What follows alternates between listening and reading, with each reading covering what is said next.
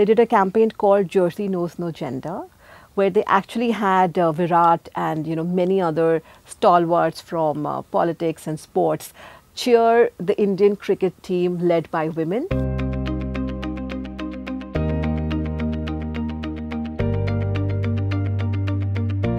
Uh, what role do social media platforms play in influencing consumers? Uh, since Twitter is a more serious platform, uh, how does it work for brands? I think social media has completely changed lives in more ways than one. Mm-hmm. Um, it allows you to express yourself freely, right. and then you have a ecosystem around you that either lends you support and takes your voice to the next level altogether. Right. Which is why uh, there have been re- these really important cultural moments in Twitter, like uh, Lahu Ka or Me Too or Hum To Fit Hai India where people have contributed and created started this. with Jasmine Re- Revolution. Yeah, absolutely.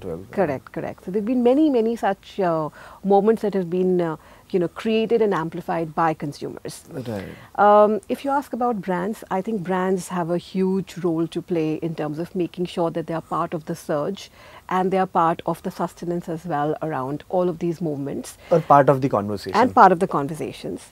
And the brands, uh, and, and, to my mind, I think brands need to not just plan for these surges, but also make sure that their campaigns, right. uh, their marketing strategies have a well-defined role for Twitter. Right, right. Uh, so I think it goes both ways. Right. Um, I think brands uh, can do a lot to identify, okay, what are the key moments that work for a brand? Right. Is it International Day of Yoga? Is it festivals like Holi, Diwali? Right. Is it the more cultural moments, more sporting moments like IPL, Cricket World Cup, Or making their own event. Or making their own event. So you ride these moments and you sort of benefit from the surge, right. or you plan your marketing campaigns in such a way that your campaigns are more conversational, they are more one-on-one. Right. So in terms of a marketing opportunity, what all kind of uh, segments do you offer to brands?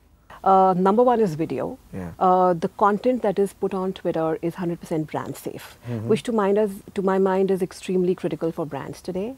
And Twitter offers in, in-stream video sponsorships through a bunch of premium content partners. Right. And that leads to more relevant content. The content is amplified to the right target audience. And on top of that, like I said, it's all 100% brand safe. So video is a key offering. Uh, the video offering will also include things like first views, which actually help you own the Twitter timeline right. and literally take it over for the day using a combination of the first view and the promoted trend what the first view does, it, it allows your ad to be the first ad within your timeline. Right. So every time a user comes onto Twitter, he sees that video ad. Right. And it's just that the experience is such, it is so immersive and right. so native that you don't realize right. what is promoted and what is not, which actually adds to the beauty of the platform. Kanika, what kind of ROI do brands get from Twitter and what should be the best practice to maximize the investment on the platform? I would say the best way to maximize ROI on Twitter would be to use Twitter for all launches, whether it's a new product, whether it's a product upgrade, or whether it's a new marketing campaign. Uh, the reason for that is uh, because of the nature of the audience on the platform.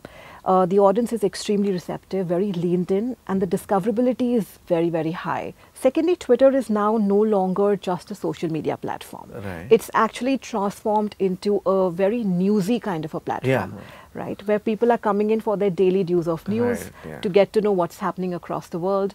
So if the brand wants to rise, ride the surge of newsiness and sort of, uh, you know, get earned media along with whatever they're doing in terms of the paid promotions, Twitter is a great way and a fantastic way to sort of bridge that and uh, allow the brand's content to be talked about in a way that is native and more conversational. Uh, the third thing that I'll say in, you know, for brands seeking ROI through Twitter is to try out the very innovative custom solutions that Twitter has to offer.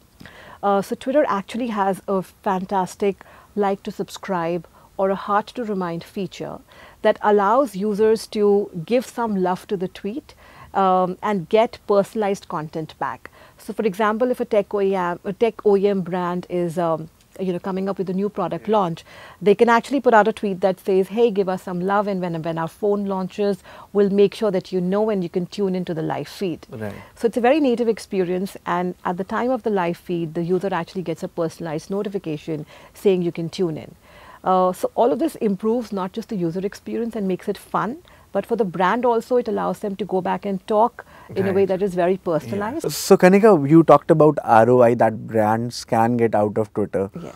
Purpose driven marketing is another thing that kind of uh, is very popular on Twitter. So, if you could tell us a bit about it. Absolutely. Twitter is a great platform to do any kind of purpose led marketing or a thought leader initiative for that matter. Um, again, because the nature of the audience is such, it'll allow for that content to be well received and also they'll help the content go viral. Um, a great example is what Uber did with us very recently. They did a campaign called Jersey Knows No Gender, where they actually had uh, Virat and you know many other stalwarts from uh, politics and sports cheer the Indian cricket team led by women. Um, you know, post great wishes for them and get many others on the Twitter platform to also post great wishes for our female athletes. And it was a lovely line. It, uh, it was a lovely hashtag which said Jersey knows no gender. Uh, and through the virtue of that, they were really able to unify the country in a, in a fabulous emotion, um, which actually ties back to their brand philosophy of moving forward. So, Kanika, how do you unwind after work? Uh, well, I really like to read and I like to binge watch. So these are my two things. And frankly, at the end of a long day, there is Yeah. very little time left. Uh, whatever time is there, I'd love to give it to my family. And once the family has settled in, then I'd love to either read or, or binge watch. What are you watching these days? You know, I'm a huge Avengers fan. So, um, I, of course, I've seen the end game like three times.